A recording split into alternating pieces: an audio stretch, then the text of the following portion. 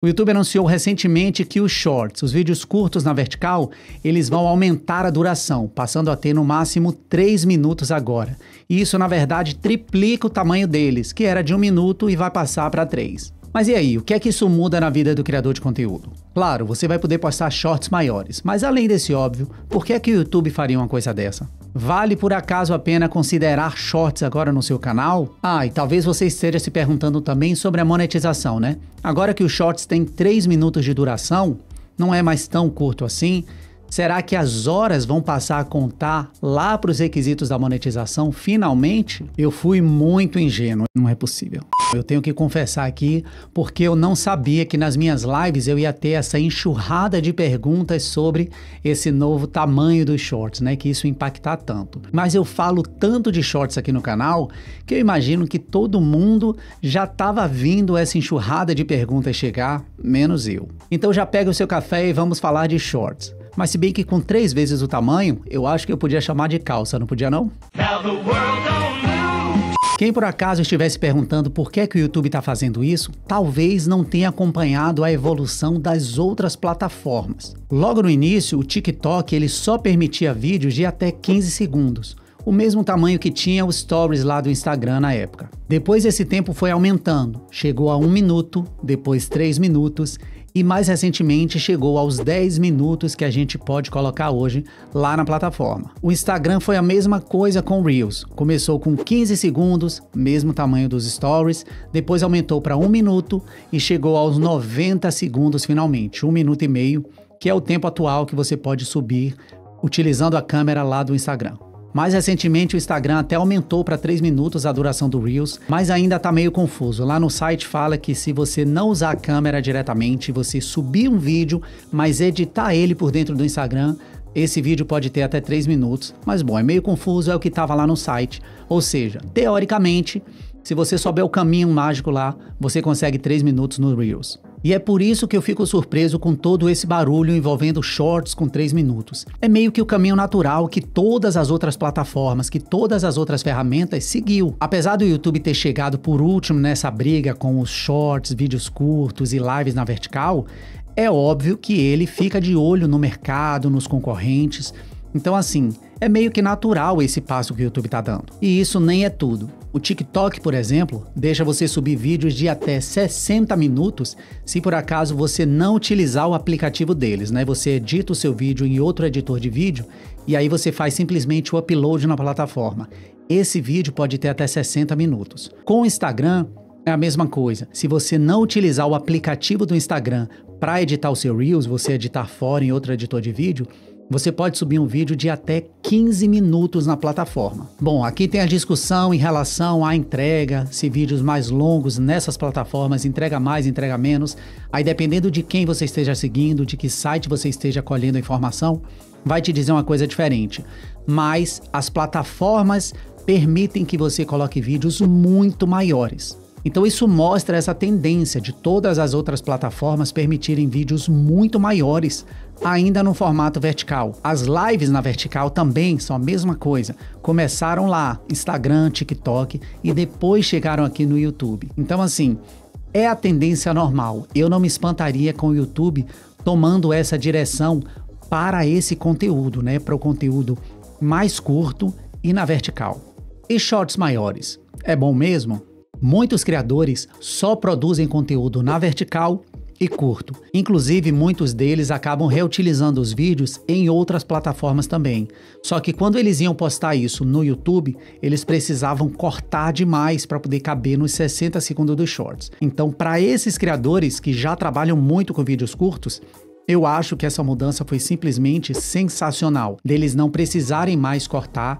Todos os vídeos que eles tinham até 3 minutos, eles vão poder colocar diretamente nos shorts. Além disso, ter os shorts com 3 minutos vai deixar muito mais fácil a gente conseguir contar uma história, sair do ponto A até o ponto B com muito mais conteúdo. Quando a gente tinha apenas 60 segundos, aquilo travava demais. Eu sempre tinha a impressão de que o vídeo não estava completo, faltava alguma coisa, sabe? Era só um teaserzinho para você dar uma olhada ali.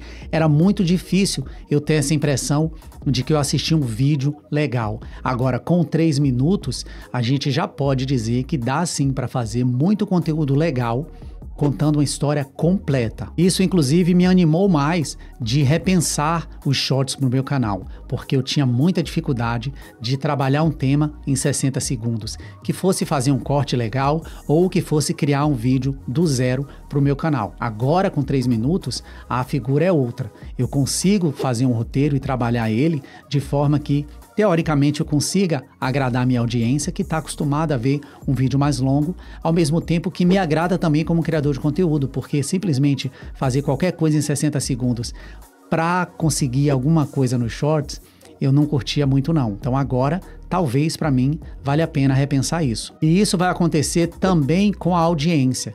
Eu, por exemplo, tinha um problema muito grande para consumir shorts, exatamente porque eles eram curtos demais, na minha opinião. Então agora talvez eu me interesse ainda mais em assistir shorts se eles forem mais longos, completos, que me desse a impressão de que eu assisti um vídeo redondinho, sabe? Saiu daqui para lá. Você deve fazer shorts no seu canal então a partir de agora? Aqui a questão é outra. Eu sinceramente não acho que a duração maior dos shorts vá ajudar de alguma forma no sucesso ou fracasso que você tem tido com o seu canal. É claro que eu acho que é mais fácil você trabalhar com mais tempo nos shorts para poder desenvolver o roteiro, contar sua história melhor.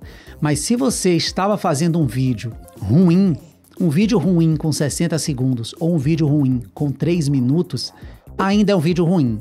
A gente precisa lembrar que as pessoas ainda têm pouca paciência, não focam muito, não tem muita atenção. Isso tudo ainda está presente. Então, você criar um vídeo ruim, não importa o tamanho dele, vai trazer para você zero visualizações, como você já estava tendo até agora. Mas talvez você queira dar uma nova chance para os shorts, repensando a forma como você postava eles. Se você continuar produzindo a mesma coisa, só que mais longo, talvez não tenha sucesso. Mas se você repensar a sua estratégia de conteúdo, agora que você tem mais tempo de tela, teoricamente, para poder trabalhar o seu conteúdo, talvez sim você consiga algum resultado diferente. Mas se por acaso você odeia os shorts hoje, talvez seja melhor continuar longe deles, porque além do tamanho, o resto continua muito parecido.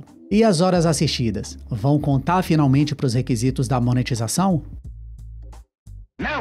A separação ainda é a seguinte: shorts vão contar apenas com as visualizações para os requisitos de monetização e lives e vídeos longos vão contar com os minutos assistidos, né, as horas assistidas. Na página de ajudas do YouTube, ele acaba generalizando muito, mas lá está basicamente assim: os shorts mais longos, eles vão ser monetizados exatamente da mesma forma, com a mesma política de monetização que os shorts já vinham sendo monetizados. E também tem muita gente com a dúvida em relação aos ganhos dos shorts, porque hoje em dia os ganhos são muito menores do que os ganhos com vídeos longos ou lives. Mas esses ganhos vão continuar exatamente da mesma forma, porque o cálculo que é feito para distribuir a renda nos shorts é diferente, então esse cálculo vai continuar igualzinho como ele já era. E o interesse das marcas em fazer publicidades nos shorts também vai continuar o mesmo. Talvez, com o aumento do interesse do pessoal fazer shorts e assistir shorts, as marcas consigam de alguma forma ver valor nisso e colocar mais dinheiro. E a gente tem que torcer para isso, para que de todo jeito a economia do YouTube de receber dinheiro das empresas e de repassar isso para os criadores melhore como um todo. Então eu também torço para isso, mas no que tange a monetização, requisitos, tudo continua igual. Shorts mais longos ainda são considerados shorts, ainda aparecem no feed de shorts, então tudo continua igual. E para você que não gosta de shorts, comece a ficar de olho nas mudanças que o YouTube tem trazido para a TV. A experiência de quem assiste pela TV está sendo revista muito e o YouTube publica toda hora alguma novidade ou algum artigo falando do quanto o YouTube está sendo consumido pela TV. Então fique de olho porque o YouTube não se resume só a shorts e agora shorts grandes, né? Tem muita coisa e muita audiência para tudo que é tipo de formato. Agora me diz se por acaso isso te deu vontade de testar shorts no seu canal, você acha que ainda não é para você, porque isso vai realmente de pessoa para pessoa. Por isso que a sua opinião é super bem-vinda aqui. Pode deixar nos comentários que eu vou ler de verdade. E se você por acaso ainda não se inscreveu aqui no canal, aproveita para se inscrever para não ficar por fora desse papo que a gente tem aqui sobre YouTube e criação de conteúdo. E se por acaso você se tornar membro, você vai participar dessa conversa lá no Discord que a gente tem exclusivo para os membros aqui do canal. Eu desejo para você, de verdade, muito sucesso e a gente se vê no próximo vídeo.